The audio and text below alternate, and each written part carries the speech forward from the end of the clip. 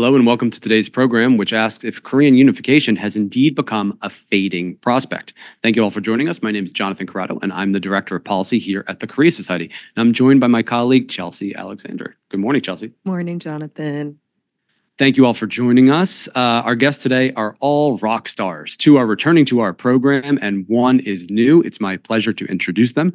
Dr. Nicholas Eberstadt is the Henry Wendt Chair in Political Economy at the American Enterprise Institute, where he researches and writes on demographics and economic development, as well as on security in the Korean Peninsula and Asia.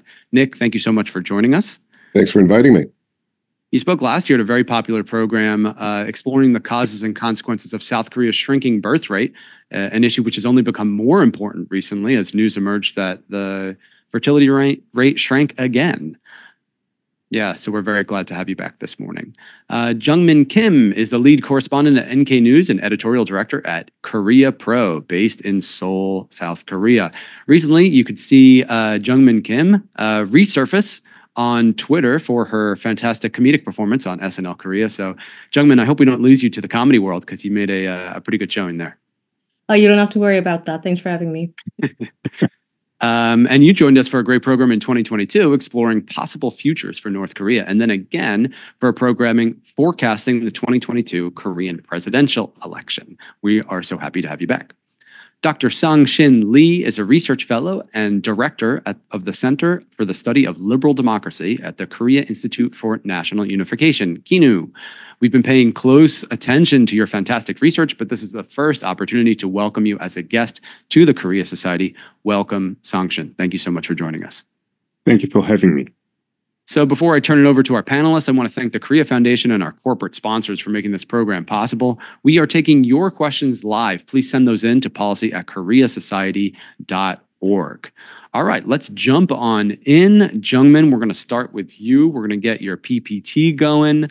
Um, so we're going to turn to you for the big picture, looking at the situation. Kim Jong un makes the announcement that North Korea's longstanding policy goal of unification, one nation, two systems, has been dropped.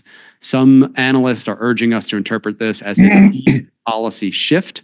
Others say it's just a simple recognition of the reality. In explaining Pyongyang's hostile shift, South Korean unification minister has pointed to four factors one, domestic economic struggles. Two, the surging popularity of South Korean Hallyu media. Three, seeking attention before the US election and South Korean election, I might add, and justifying its nuclear program. Jeongmin, over to you for your thoughts and analysis of what exactly is going on here.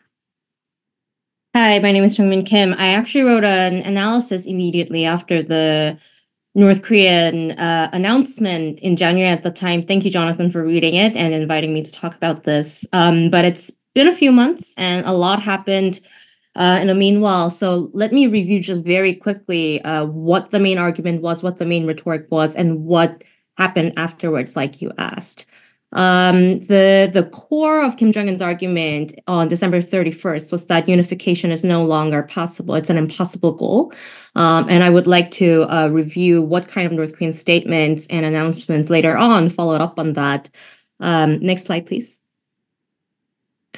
If you look at this KCTV uh, footage, it's actually a good summary of what's going on right now after the announcement. You can see that they no longer show the entire Korean peninsula, but they drew a line in between South Korea and what they call ROK now um, and, and, North Korea. Um, and the gist of the argument, the new new policy line, Rosan, is that uh, South Korea is now a um, a belligerent foreign state and they want to get rid of the concept of minjok. And they actually followed up with that in a very physical manner. We could see we broke the story on uh, the satellite imagery hints of the arch of unification going down and other symbols going down as well including the websites including the term minjok. Um, they changed the korean peninsula photos like this or images. And the foreign ministry not uh, the the the department related to inter-Korean unification have moved very fast, almost even less than a day after Kim Jong un's announcement to get rid of the departments and organs related to the inter Korean relations. So they're really treating South Korea as a foreign state, just like they mm-hmm. do with other countries as well. Um, and it, it, this part is very underreported, but Kim Jong un's uh, speech also involved this a long paragraph about how um, the Minjok, the concept of Minjok, the compatriot, it should be eliminated from the political culture. Uh, from this, I judge that maybe their target audience was the domestic audience and North Korean people, that the message is for them largely as well. But looking at how so far for the past two months, they did not report in state media or any photos, any videos, any text about getting rid of the Arch of Unification, for example. It seems like maybe they're a little bit cautious about uh, people blaming Kim Il sung and Kim Jong il directly, perhaps, or looking like they are. But the core argument still is that they worked on it. Um, the three Kims worked on it, but it didn't work. Next slide, please. And the thing we have to keep a very close eye on is uh, also the illicit border argument, and this may come up very soon um, in uh, more development in North Korea. Uh, Kim Jong Un asked the military to prepare for potentially subjugating South Korea, and they said the NLL North Northern Limit Line is illicit, and hinting potentially at pushing it down, or at least rhetorically trying to claim it, uh, claim the region south of the maritime, the current de facto maritime border. And this is something the not only South Korea, but also United Nations Command and US has to keep a close eye on as well, because it immediately um, influences their role as well. But it, so far until this morning as well, uh, it seems like uh, North and South Korea are both being very cautious about this. On North Korea's end, they will be doing a constitutional amendment this spring. We have to keep a very close eye on how they actually define the new border. Um, but I will leave it to Dr. Lee to explain this a little more. Um, on the South Korean end, interestingly, um, the Freedom Shield, the springtime US South Korea joint drills is going on. And I went to the briefing uh, talking to the JCS and the USFK head of press offices, and I asked them if they will be resuming border drills, and they said no. Um, it seems like they are also very aware of the possibility of increased um, risk at the border, like skirmishes, and it's it looks like both sides are trying to not escalate something too quickly. But um, next, uh, next slide, please. Uh, well, but this part has been interpreted in various ways, um, including uh, uh, some of the viral columns out of DC. Uh, but Kim Jong Un didn't say that they will North Korea will be subjugating South Korean territory immediately. It was caveated um, only to you know prepare to subjugate South Korea if needed. And it seems this is continuing, uh, judging from the defense ministry statement yesterday from North Korea. It was the first formal response to the Freedom Shield. And their main point was very interesting. They said that our soldiers are so busy um, yeah. doing economic construction in the rare. We cannot really respond to you right now. This is new, very interesting. It was yeah. up in economic articles before, but not in military articles. Um, so this is interesting, and it seems that they are trying to position themselves as someone that's de-escalating at the border and trying to you know, build up the justification to say that U.S. and South Korea is the axis of evil. That's not doing a defensive drill. Um, next slide, please. For the coming weeks and months, something to look keep a is that um, North Korea claimed that said that they're disappointed at both left and right in South Korea. Um, it, it, depends on interpretation, but it seems, first of all, it seems they are hinting that they're not interested in someone winning in presidential or general election in South Korea, be it DP or PPP, or and or uh, it could be an expression related to how they were so disappointed with um, how they feel betrayed uh, by the Moon Jae-in administration in the previous. Uh, you know, during the Hanoi summit and all. Um, and I wonder what uh, Dr. Lee and Dr. Eberstadt thinks. And finally, next slide, please. Um, I haven't written about this yet, but I wonder if this has something to do with the next generation. And I wonder if they will link this unification is impossible rhetoric to link it to the, you know, the justification for the fourth Kim in North Korea. When Kim Jong Un's daughter uh, was first introduced, the justification was that the nuclear weapon and the ICBM is for the new generation, like the daughter. Um, I wonder if Kim Jong Un will link the unification abandonment thing to um, how this is something good for the next generation in North Korea so that they don't get roped into this impossible dream of unification and that they will only seek um, ways to secure security and economic prosperity for North Korean residents. I wonder if they will actually link to that, and if so, it will link, link uh, lead to an ideological basis, perhaps for the fourth Kim as well. And I will leave you there. Jeongmin, thank you so much. Excellent analysis and so much food for thought. And I hope I could tee up some of our uh, other speaker, Sangshin and Nick, for some additional follow up here. But just to prime the pump a little bit, what got me thinking was this contested border in the NLL and the West Sea, such a historic flashpoint where we have seen conflict before. Of course, the sinking of the South Korean naval corvette, the Cheonan, then the bombardment of Yeonpyeong-do. Um, which resulted in South Korean fatalities, right? This time, Mhm. uh, less uh, willingness on the South Korean side to just absorb those losses and, and remain quite calm. Uh, we also saw that interpreted as building up Kim Jong Un's bona fides at the time uh, before he came Right. age as later. So wondering what types of military provocations could help, as you suggested, similarly pave the way for a future North Korean leader. Also remarkable the shift away from unification in as much as previous generations of Kims have used it as a basis for their own legitimacy. And the Mm. ethnic Korean people, the claim to be the rightful legitimate representation of all Korean people on the entire peninsula, such an important Kim family claim to that legitimacy. Um, and then finally, your remark about soldiers being busy. This is another remarkable one because A, we could see how Kim Jong un really wants to point to his economic construction development as a way to build up his um, constituencies and support domestically. Uh, but it's also a, a, very startling admission that the soldiers are more busy and more needed building new homes and apartments and roads and bridges Exactly. and not That's why it's to become a surprising that the military is saying it. Yeah, very, very. And we knew this was going on, but for them to say so, right, is pretty, Exactly. pretty startling. Okay, so uh, uh, uh, offering some opportunity here to Sangshin and Nick to provide some commentary. Yes, I have some quick comments. Uh, before important elections in South Korea and the United States, North Korea has always um, done some crazy things to escalate tensions. So I'm not that surprised to see the same thing happening again. Many experts, including Jeongmin and South Korea's Minister of Unification, interpret this change in North Korean policy as a sign of internal conflict or struggle. However, I think the opposite interpretation is also possible. With this policy change, Kim Jong un has repudiated the legacy of Kim Il sung and Kim Jong il, the foundation of his power. Mhm.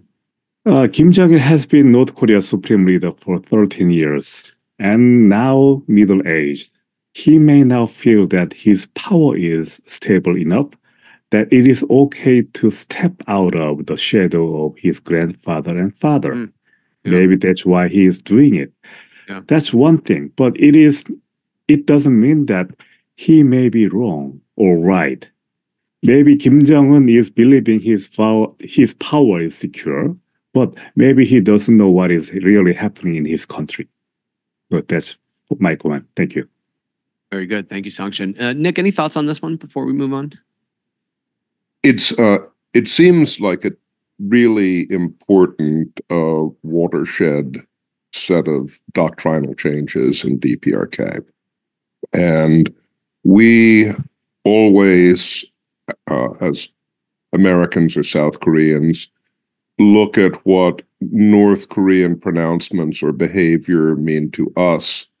Um, as Sangshin was saying, we might also be looking at what it means to DPRK leadership and DPRK society uh, as well. We receive the external broadcasts or pronouncements, propaganda, whatever you want to call it, from DPRK. We don't get the domestic uh, readout of this.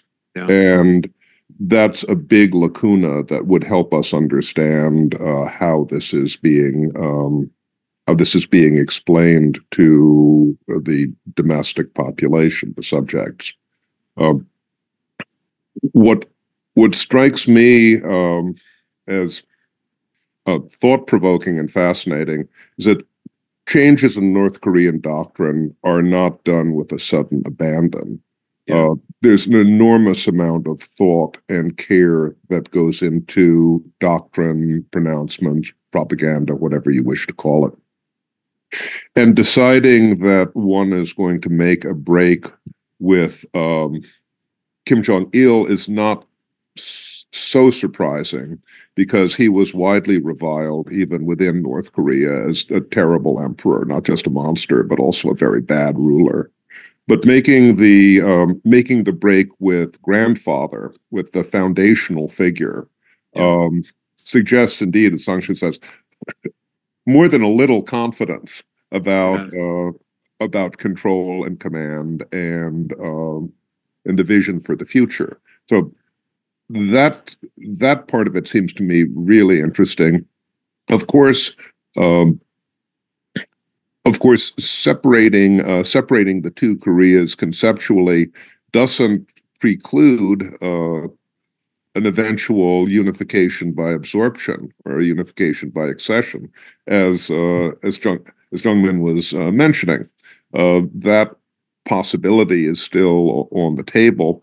But there's also the other question of is this going to lead to a possible change in military doctrine as well? Is this Yeah. going to lead towards something more like a defense sufficiency approach?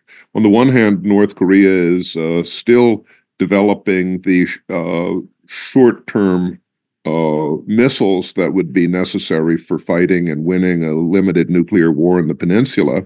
But on the other hand, they're selling supposedly up to 3 million artillery shells to the Russians, which would be kind of a frontline, uh, a frontline necessity. So, still a lot of questions about uh, where this takes us uh, with respect to security. Excellent. Thank you so much, Nick. And uh, Jeongmin, any uh, final thoughts on this one before we move it on? Yes, I forgot. I forgot to mention something. Uh, listening to the comments, I just remembered that uh, one of the um, one of the consensus that I got when I was um, interviewing experts was that this change. Well, first of all, ideology is very important in North Korea. It's not to say that it's just an ideology; it's the basis of Yeah. North Korea's hereditary dictatorship. And um, for them, uh, many experts pointed to how um, the getting rid of South Korea as a compatriot sort of equation is actually very useful ideologically for them to continue developing nuclear warheads that can be loaded to short range ballistic missiles that can um, aim at South Korea because there is an ideological uh, dissonance if they continue to do that without getting rid of it because you are trying to fire um, weapons of mass destruction towards a compatriot just really doesn't make really that much sense as a coherent ideology. So maybe they were trying Right. to get rid of that just to make it more convenient. Yeah, that's a really good point. Uh, thank you so much, Jeongmin. And, and now we're going to move on to Sangshin. And, of course, unification, it takes two to tango. So let's look at what South Korea is thinking. Sangshin, can you give us a sense for recent changes in South Korean public opinion towards unification? Are you sensing any prominent demographic or ideological splits? And why do you think there seems to be less enthusiasm now for unification than in years past? Thank you for the good questions. Uh, I'm a polling guy in South Korea. I'm in charge of the KINU's annual uh, public opinion survey, which is called the KINU Unification Survey. I prepared some slide for you. Let's move on to my slide. Next slide, please. Uh, we can sk- skip this one. Next one. Okay. In South Korea, as in North Korea, unification is no longer a popular idea. In 2023, the KINU Unification Survey found that about 54% of uh, respondents said unification is necessary. So that's about only half of South Korean population. Half of South Koreans still say the unification is necessary, but as you can see from the graph, uh, the graph shows the number of re- respondents who agree that unification is necessary is slowly decreasing. Next slide, please.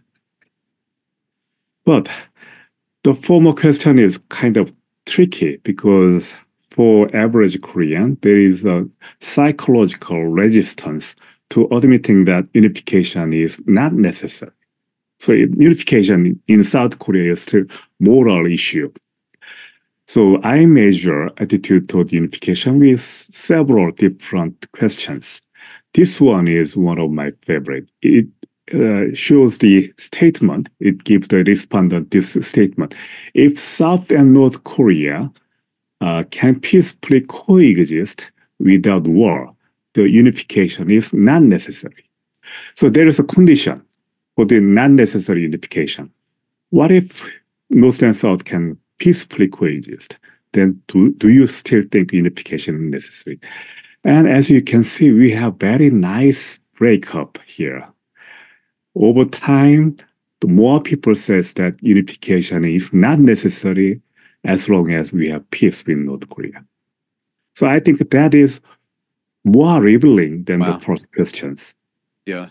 And for the 2023 survey, of almost 60% of South Koreans says that unification may not be needed in case we have peace with North Korea. Only 22% says that unification is still necessary. Next slide, next slide, slide, please. And this one ask about the nationalism. Uh, Another statement, just because North and South Koreans are one people does not mean they must form one country. Uh, I ask this question because the official South Korean unification plan is called National Community Unification Formula. Why do we need unification? The formal official uh, explanation for the reason for the unification is that because North and South Korea are the same ethnicity, nationalism. But nationalism is uh, fastly losing ground among South Koreans. Mm. In 2023, about half of the people says that uh, they agreed with this statement. The nationalism is no longer uh, giving the justification for the necessity of unification for the South Korean people. Mm. Next slide, please. So another one. Uh, if South and North Korea open the borders to each other and cooperate on political and, and economic matters, such a state can be considered unification, even if the two, the two Koreas are not one country. Uh, for this statement, I try to explain uh, the what confe- confederation is looks like. Uh, as you know, the national uh, community unification plan based on the EU model, confederacy of the various European countries. What if South and North Korea can peacefully coexist uh, and forming kind of the community, not without becoming one country or EU style, the confederacy? Would you accept that as a unification? With this question, I try to measure how people feel about the alternative concept of unification. Unification doesn't necessarily to be a unitary, a single state solution. Maybe EU style confederacy type unification can be accepted by the South Korean public. And as you can see from the graph, many, uh, 55% of South Koreans in 2023 survey agree with the statement. They are willing to accept the confederacy concept of unification as an alternative unification. Mm. Next slide, please. So that now in South Korea, many South Koreans have different ideas. They are ready to accept the, uh, the changed concept of unification, and they are losing fast. They are losing their uh, interest in unification. Uh, with the con- conflict escalated with North Korea, we have uh, the different attitude toward North Korea. The following graph shows the region, uh, the the fastly changing South Korean public's uh, negative feeling toward North Korea. And as you can see, not many people says that they are interested in North Korea. In 2023, only one third of South Korean public says that they are interested in North Korea. Next slide, please. If South Korea lower its guard, North Korea is always ready to attack. And, and in 2023, uh, you can see the increase in the negative attitude toward North Korea. 60% of South Koreans agree with this statement. They now view North Korea as a potential enemy. North Korea is ready to attack South Korea. Next one, please. Another one. One North Korea wants is regime stability and economic development rather than communist unification. Let's look at 2019. At that time, it was right after the failure in Hanoi. Even after the failure in Hanoi, half of the South Korean public still believed that North Korea didn't want communist unification. They want economy, economic development, regional stability. Now people are changing their mind. About one third, one fourth of South Korean public disagree with the statement. They now believe that North Korea truly, truly want communist unification. So negative feeling toward North Korea increasing. Next one, please. Another statement, North Korea wants peace with South Korea than conflict. Again, in 2019, right after the Hanoi failure, still half of South Koreans believe that wow. North Korea's true aim was peace. Now the picture was uh, very picture is very very different. Almost the same proportion of South Koreans. 23% of South Korean public agree with this statement, while the almost same percent of percentage of people says that they they disagree with this statement. They believe that North Korea do not does not want peace with South Korea. Next one. Um, that, that end my uh, presentation. I'm sorry. so the overall, the unification is losing popularity among South Koreans. And the negative feeling toward North Korea is increasing. So that's not a good sign for the unification. But uh, the nationalistic feeling among South Korean is dormant, but nationalism is always a very powerful uh, force to drive people into the uh, unification. Maybe some popular populistic South Korean leader, maybe the change of North Koreans' stance will drive nationalistic feeling among South Koreans again. I don't I don't think I can rule out that possibility. Yeah. Thank you. That concludes my presentation. Uh, thank you so much, Sangshin. That w- that was really fascinating and learned a lot. Um, I'm t- very tempted to speculate about the reasons why things are changing in the way that they are, and I can hazard a guess, but I want to invite um, your uh, analysis and that of Nick and Jeongmin as well. Uh, my knee-jerk reaction is to look towards internal and external factors. So externally, you know, this declining interest in unification maps very nicely onto North Korea's first, the post-Hanoi failure, but then the strategic shift by Pyongyang away from trying to achieve that normalization with the US and South Korea and towards the embrace of China and Russia, right? So, like, if we were to put those two trends next to each other, then yeah, they would pretty much match up. And then, of course, in South Korea, um, particularly the younger generation, just lacking these types of familial uh, ties to the North that previous generations had, and fond memories of uh, of a time before the country was divided, uh, growing up during a time when North Korea was nothing but a nuisance. Uh, so having much different views towards North Korea, and then just self-interest in their own economic situation. So those are my uh, speculations, but I, I hope to to hear from you as well. Yes, I agree to just everything you just said. Uh, there are mostly the internal reasons why South Koreans are losing interest with unification. And one of the big reasons is that if do achieve unification, especially South Korean younger generations are afraid that they they would be the one who pay the price for the unification. I yeah. think that uh, yeah. Nick will uh, talk about the, the price of unification. so, but the younger generation uh, for for, for the younger generation of South Korea, North Korea is just a, another foreign country. Right. which is exactly what Kim Jong Un says about South Korea. Right. he define, de- defines South Korea as another foreign country, just like South Korean young generation is Yeah. doing with North Korea.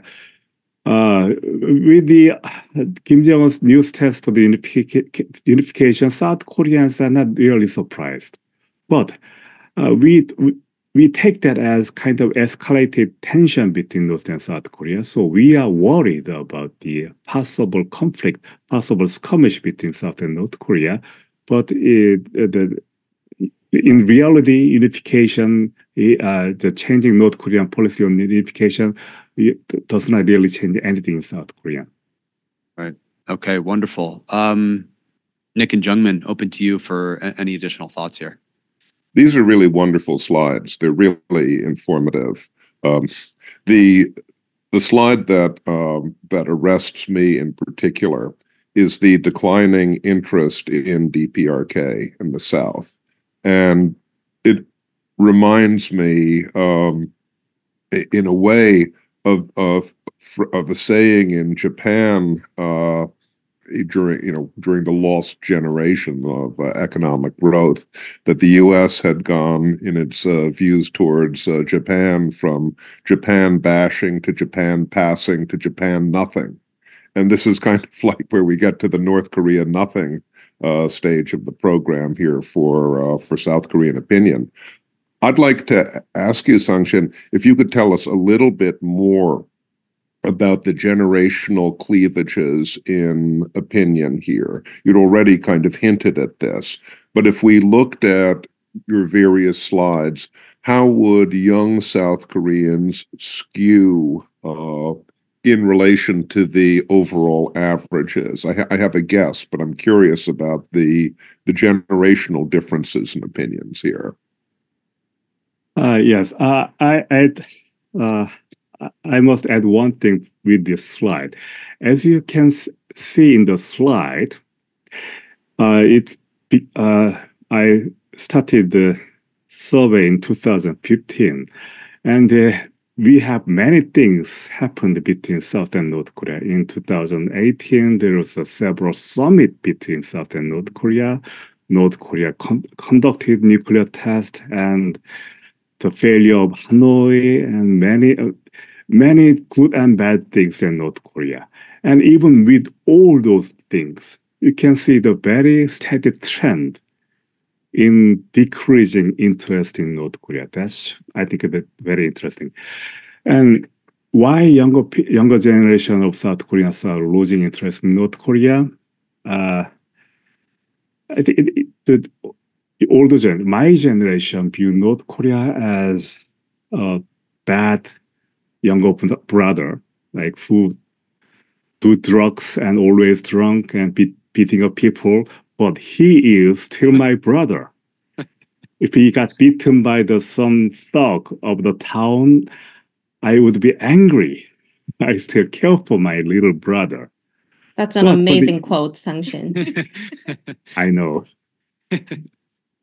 but look, for the older generation, North Korea is a black sheep of the family. We, I I hate him, but he is still my brother, my responsibility. But but younger generation, not they see North Korea as just news. They they they are sick and tired of North Korea. They don't see any gains, any uh, possible prosperity and peace with North Korea. They don't know. They don't know why we have to achieve North Korea, achieve unification in North Korea. I think uh, we have different frame perspective on North Korea uh, among the generations in South Korea. Wonderful. Uh, As a- over to you. As a young South Korean, who's sure? uh, ish um, still, um, I'm I'm just gonna add some color to to to the polls. I have various friends of same age in different industries, uh, different interests, different career, um, and they don't read North Korea news as closely as we do. Um, they see North Korea from impressions and headlines, urgent alerts, stock price going down. Um, and they grew up not having so much of a direct um, exposure to what North Korea is like because there was not much North Korea engagement going on while we were adults. Um, so, so the impression we have is half and half. We see from news, and also half is what we grew up with. People, um, South Koreans, labeling each other as pro North Korea or anti North Korea. Um, so, so these are North Korea is an impression to our generation, and and so um, it's interesting to see the generation gap um, sort of aligning with the external factors in a similar way as well. Um, but but a color to this is that although younger generations do not really care about North Korea, in recent months I have gotten the most uh, Kakao Talk messages than ever about the possibility of war with North Korea. That was quite interesting from uh, from yeah. my male friends. They were texting me, "Are we going? Are we are we gonna be conscripted again? Should I escape? Should I immigrate?" Um, and the and the girls. Um, the the women uh, who maybe have husbands, they were really actually afraid of something like Ukraine happening to us. Um, so, but but from impressions and headlines. Um, so yeah, uh, I think that's something very difficult to catch from polls as well. The exact causes, what they um, get certain ideas from related to something like that. All right, thank you so much. And and now we're going to turn to a uh, a positive view about what potentially could happen. And um, you know, Dr. Nick Eberstadt, we we often talk about the challenges and obstacles for unification. They're well known and well discussed. But you've written that there are reasons to be a bit more bullish when it comes to unification, particularly in the economic department. So hoping hoping that you could take us through that discussion well, a bit. Well, well, thank you very much, Jonathan. Thank you for inviting us all here. Um, I mean, I don't, I don't think it is anything like a state secret that uh, interest in uh, unification uh, has diminished uh, dramatically in the South in uh, recent decades. I think Sangshin has um, illuminated that and detailed that. The change, I think, really started back in the financial crisis in late 97 and early 98 when uh, the um, the dire state of public finance in South Korea uh, brought to attention the um, uh, the nature of the burdens that uh, taxpayers and citizens might have to assume in South Korea if there were a unification with the with the North, and of course all of that anxiety uh, uh, unfolded in the mirror of German unification, which turned out to be a very expensive proposition for um, West German taxpayers. I mean, it was almost a miraculously easy and simple process compared to what one could have imagined, but it was still a very costly proposition. Um, I just want to uh, show in a few slides that the world has changed an awful lot since the financial crisis of '97, and um, and as a uh, as a financial proposition, uh, unification may be a little bit less scary and a little bit less unthinkable than common impressions would suggest. Uh, can we have the next slide, please? I'm not going to um, I'm not going to read my talking points here because I think that would count as death by PowerPoint. but I'm um, I, I, do want to suggest that uh, there are reasons to be a little bit less uh, frightened by the financial aspect of uh, some possible future peaceful drawing together of the two Koreas into some sort of economic integration.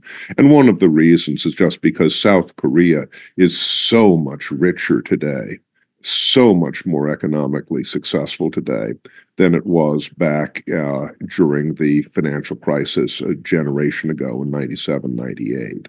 Uh, and let's go to the next slide, please. Um, you know, North, North Korean data are um, almost non-existent for making comparisons between North and South Korea economically.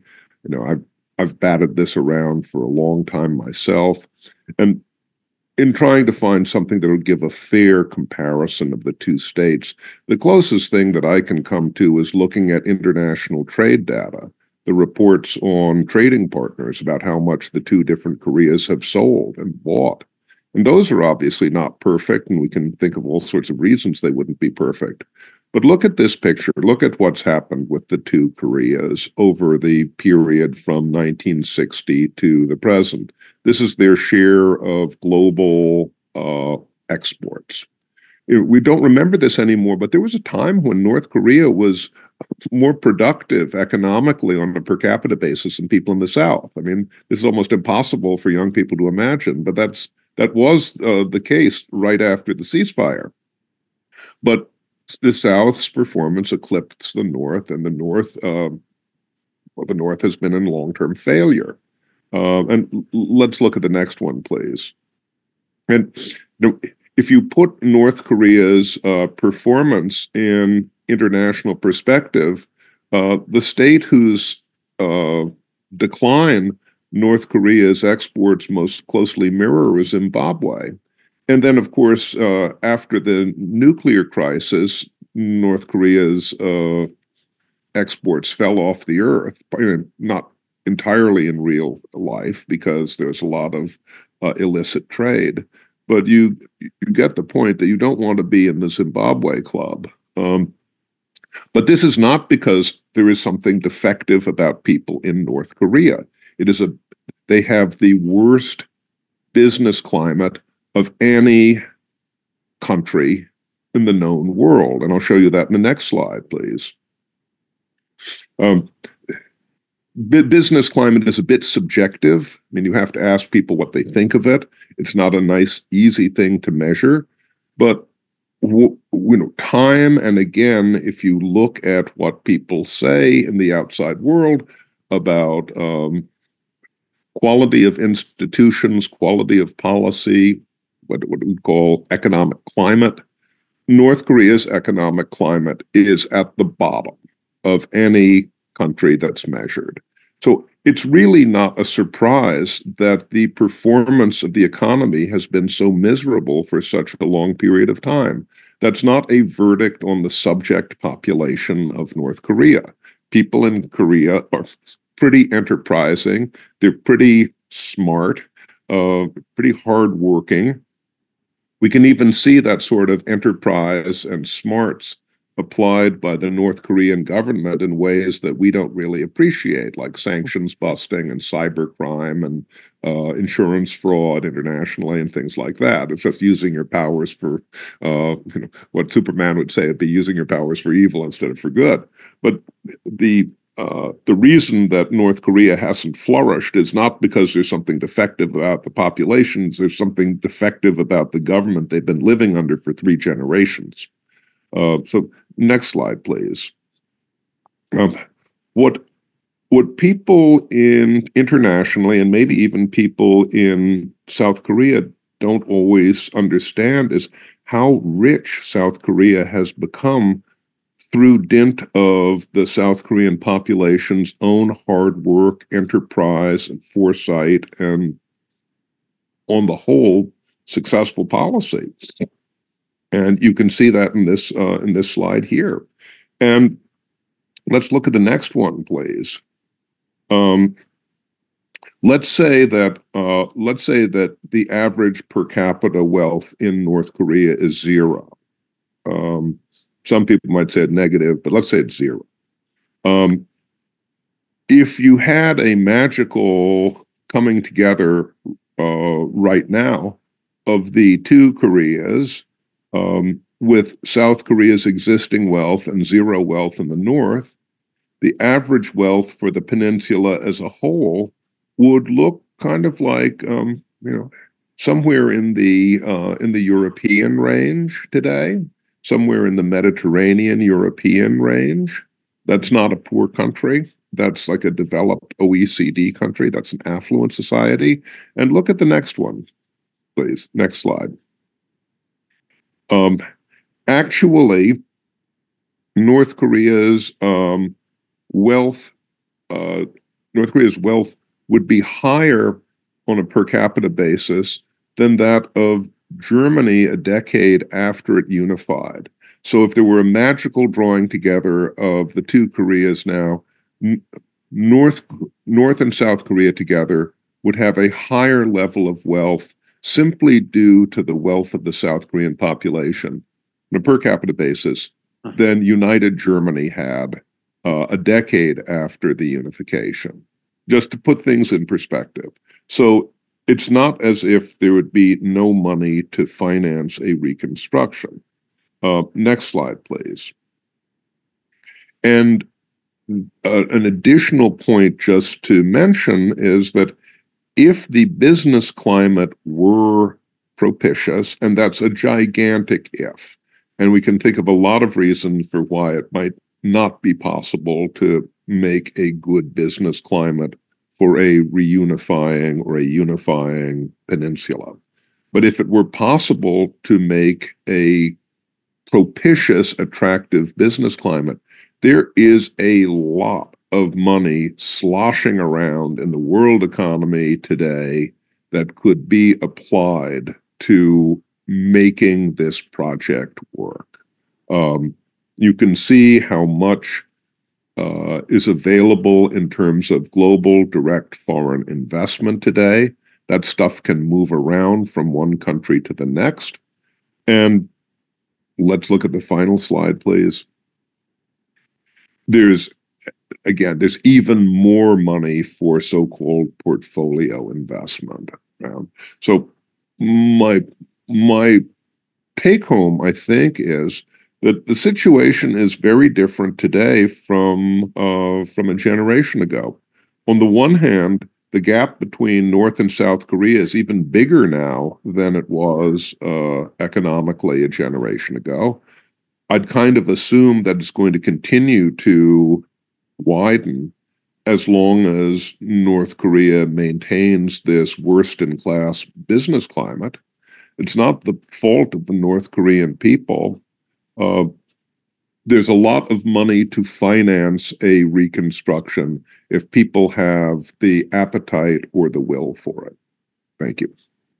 Thank you so much, Nick. Uh, I'm all fired up about unification now. Uh, you know, this is, it's become such a negative climate on this topic. So I, I, think it's really refreshing to to hear your perspective and just this larger historical context. And you know, when people cite reasons for their antipathy towards unification. Typically, the, the political burdens are are put up there first, and then then quickly behind as as a a, a very significant reason is the economic burden that it would pose. But this perspective, I think, is quite illuminating in that over time it would actually become an economic benefit to the peninsula.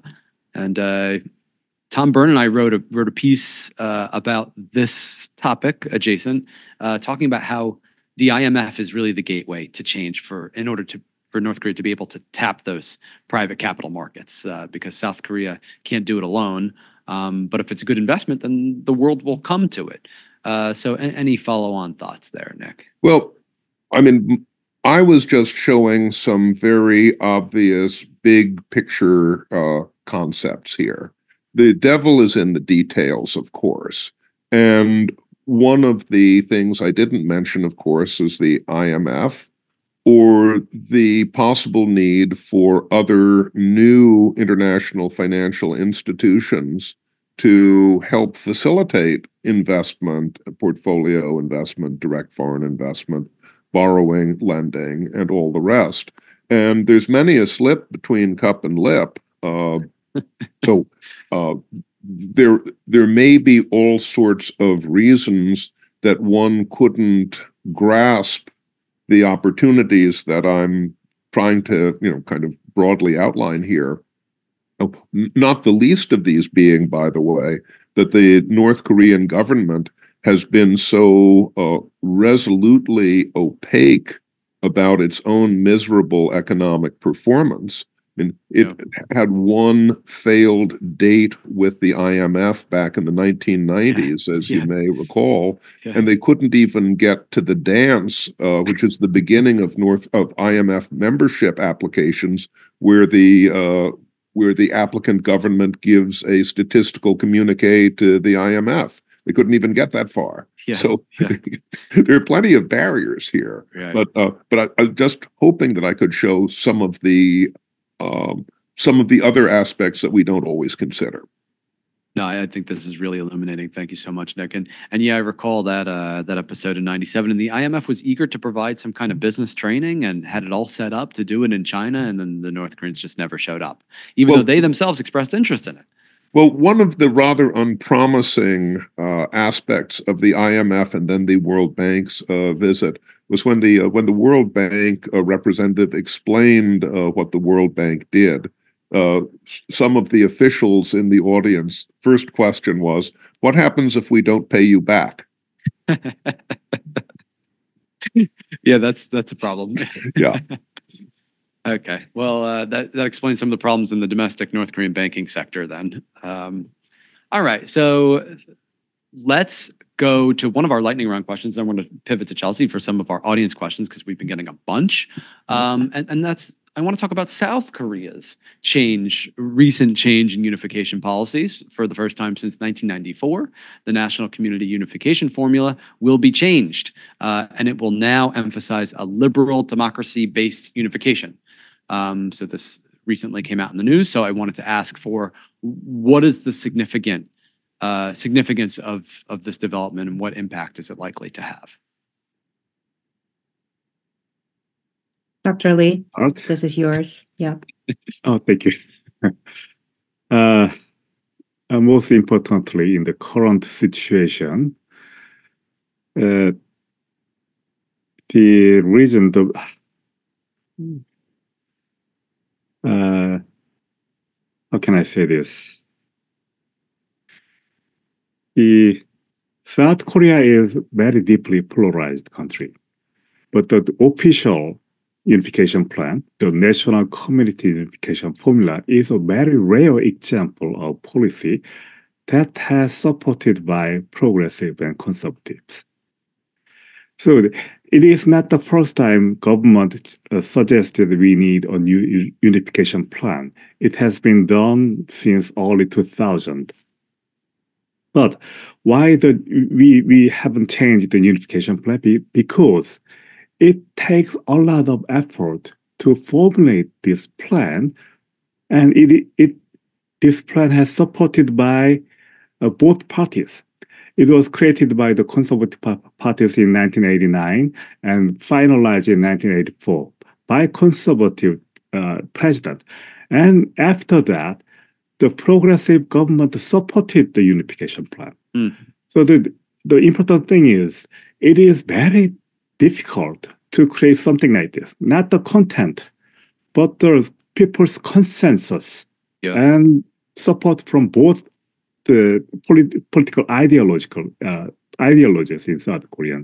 South Korea, as you know, is as polarized as the United States now.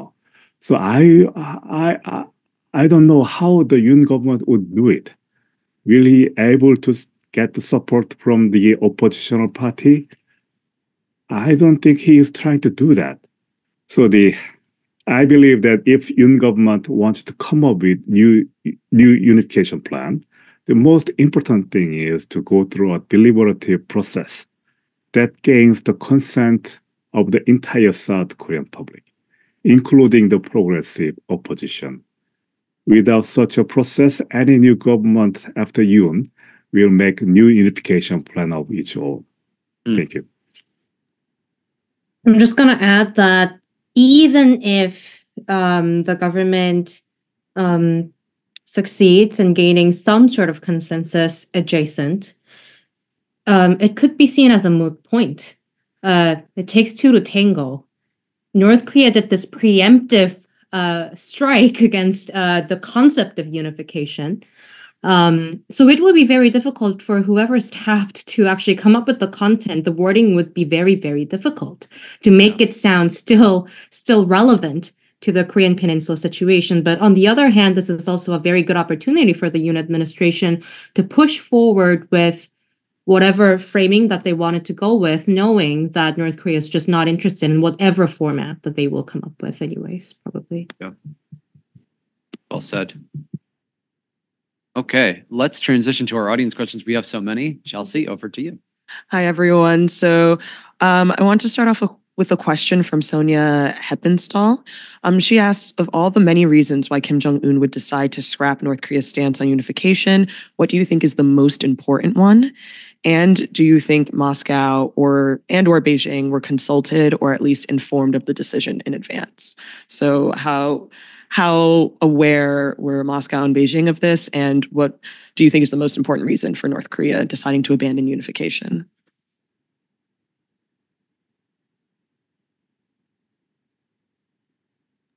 I will go first. I'm sorry. Makes sense. Uh, well, the the Minister of the Unification of South Korea uh, said several things, mostly the internal regions in North Korea, why for why Kim Jong Un scrapped the unification plan. But I think it has been brewing in North Korea for several several years since, especially since the failure of Hanoi. I North Korea doesn't see any reason for the they they don't have any need for the South Korea. They they knew that as long as they have nuclear weapons, South Korea will not and cannot uh, cooperate with North Korea. We cannot help with help North Korea with the economic development or anything, and they cannot give up, give up their nuclear weapons. So they they ha- they don't see any reason to have communication or any the the linkage with South Korea, and that's and Kim, Kim for Kim Jong Un, uh, he needs some kind of shock therapy for South for South Korea and uh, United States, so that they have he can have the attention of the United States. I think that's the major reason why North Korea is abandoning its nuclear unification concept. Yeah, thank you. Are there any other thoughts from Jeongmin or Nick? Sure. Um, remember that um, remember that people are punished severely in North Korea for watching South Korean videos, for talking with a South Korean accent, uh, for you know, for, kind of being interested in or emulating what they what they know about or hear about or think suspect about the South. Um, that's a competition that DPRK has lost. I mean that that horse is gone, and uh, the drawing together of the uh, the drawing together of the two Koreas uh, culturally at this point may be viewed as a big loser for uh, DPRK leadership. I mean, we have to remember that what goes on in domestic politics and even in a totalitarian dictatorship, you have politics. You've got human beings. You've got politics. Um, what goes on in North Korean domestic politics is something that, for the most part, we are not allowed to see. Um, as far as uh, China and Russia are concerned, I mean, uh, one of the tragedies for uh, for the DPRK regime since the 19 um, since the 1990s has been the collapse of uh, the Soviet Union and the end of the play Moscow against China game for aid. I mean that's that's a big uh, that's been a big problem. The United States was being groomed uh, in some eyes in Pyongyang as the replacement for the Kremlin. Uh, that never obviously worked out too well. Uh, I would I would imagine that if there were discussions uh, with uh, the Kremlin and with uh, Beijing about this change in ideological doctrine, this important change in ideological doctrine, that Pyongyang's calculations would be would have been exactly towards trying to figure out how to play the two governments for more aid. Yeah, great point. Thank you. And um, Jeongmin, do you have any anything to add here? It's a it's a difficult question. Um, but but um, my immediate thought is I think it's a long shot uh, justification project towards an ultimate goal of being recognized far in a faraway future as a normal state and a nuclear power. Um, on the road towards that, I think uh, being roped in the unification idea um, and you know having to consult with South Korea on, on a lot of stuff uh, on the way there, they might have just seen that as an inconvenience, maybe. Um, but but that's just an immediate thought. I'm not sure how exactly the causality would be, but I do see a lot of hints now and then um, on North Korea trying to uh, position itself as a responsible and a normal state, a state, not a, a not one part of just the peninsula. Uh, it might be part of that sort of um, attempt, I think. Yeah, absolutely. I mean, kind of more of a long term calculus. We can't be sure like right now, but yeah, I think that's a really great point. Um, we have another question from Jacco Zwetsloot at NK News, um, which is related to Sangshin's um, presentation on um, more a bigger appetite among the South Korean public for different ideas of what unification could look like. And so Jacko asks, is there a chance that um, North Korea's change of policy or line could lead to eventual mutual recognition of the two Koreas and continued um, peaceful coexistence, which um, similar to what happened in Germany, which we talked about. And if so, if this like peaceful coexistence is possible, do you guys think it's more or less likely that there would be increased hostility and actual military conflict on the peninsula? Thank you for the question, and it's a very difficult one. First of all, the unification in South Korean consti- constitution so the officially we cannot just abandon the idea of unification. South Korean government, it will be unconstitutional for the South Korean government if we if we do the same thing with Kim Jong Un does. But at the same time, people's view on North Korean unification is rapidly changing, as I shown uh, as I've shown you with my the slides. But the nationalism and the history is very resilient. I don't think it will be uh, easy for the South Korean people give up the idea of unification, even though they don't like the idea, they, they don't see anything good in the future of unification. So we will, for, for the foreseeable future, we will stick to the, the maybe hopefully it's dream of unification, uh, but uh, we will continue to try to unificate, try to have the unification with North Korea. And one thing about one good thing about dictatorship is that they all they can always change back. Kim Jong Un just abandoned the 70 year legacy of his grandfather and father, and he can always say that I was wrong. Let's go back to the former state, and he will be okay with that. So hopefully, North Korea can do that. Thank you. I just wanted to chime in um, on something that Sangshin just said. Um, this will actually become an added uh, complication for South Korean domestic politics as well, because North Korea issue and unification issue was one of the go-to weapon um, for uh, politicians on both left and right to attack each other, um, including their views on unification. And now that North Korea is like, no, we don't want to be friends with you either, left or right, the liberals would be uh, struggling to figure out a new way to position themselves when it comes to peace and unification. And on the right, they they lost one of the you know strongest weapons to attack the liberals. Um, but I just wanted to add that there, when it comes to unification, um, as a goal for the, the for the right wing, I'm seeing very interesting trend in um, South Korean conservative media editorials, including Chosun Ilbo. I think in January, I believe, or February. Um, they said something like, "This is the moment for the right wing to take back the unification rhetoric and discourse, um, to lead it towards uh, liberal democracy-based unification." Um, so it does seem like they're not willing to give it up one way or another we yes we were missing a crucial um, piece of evidence, Jacco, I think, which is what how the regime is explaining this major ideological shift to the domestic population.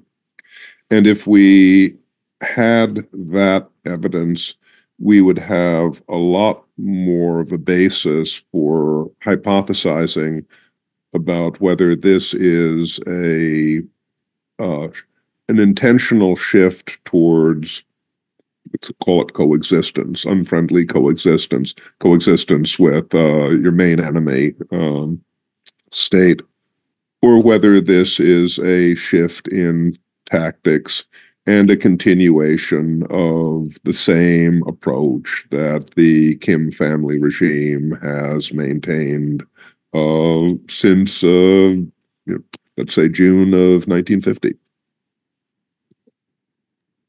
All right. Yeah. Uh, I, Oh, I'm yes, not sure if I can say this. I, I just one thing. When we say unification in South Korea, each political faction have kind of use unification have their own code word. Yeah. For the conservative, unification means uh, the unification by absorption. Yeah. For the pro North Korean uh, left progressive faction, unification means the nationalistic unitary system without United States presence in South Korea. For the uh, the middle uh, liberal uh, liberal faction in South South Korea, like like the Moon Jae-in government, Moon Jae-in government hate to use the term unification. They try to use the peace. And so the, for the for them, the idea of unification is peaceful co- coexistence. Unification as a unitary system is very long-term goal. They they wanted to have they create the environment for North and South Korea can coexist. So when we we, have to dif- understand how unification has different meanings for the different, different political factions in South Korea. Thank Great you. point. Yeah. Yeah, any other thoughts on that point? All right. Well, I think that is time for this program. Um, I want to thank you guys as well as our audience for tuning into this discussion, um, and also our team, Jonathan, obviously for moderating, and our team here at the Korea Society helping things run smoothly on the tech end. Um, if you've enjoyed this discussion, please head over to the Korea Society website where you can see our past programs and also sign up for our upcoming programming as well. Um, and uh, please join me in thanking our guests. Uh, thank you all. It's been a pleasure.